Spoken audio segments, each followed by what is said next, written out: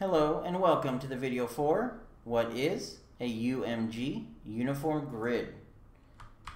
The uniform grid panel is one of the standard controls that comes with Unreal Engine 4 and it is in the panel section. The uniform grid panel itself contains the child layout parameters where you see slot padding, minimum desired slot width, and minimum desired slot height. Any children under the grid panel have the following parameters.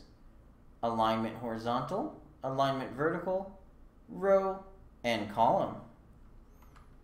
The uniform grid panel is good when you want to arrange things in a grid formation and have them all be the same size and maintain the ability not to overlap and basically you just need a grid that works as a grid, nothing special.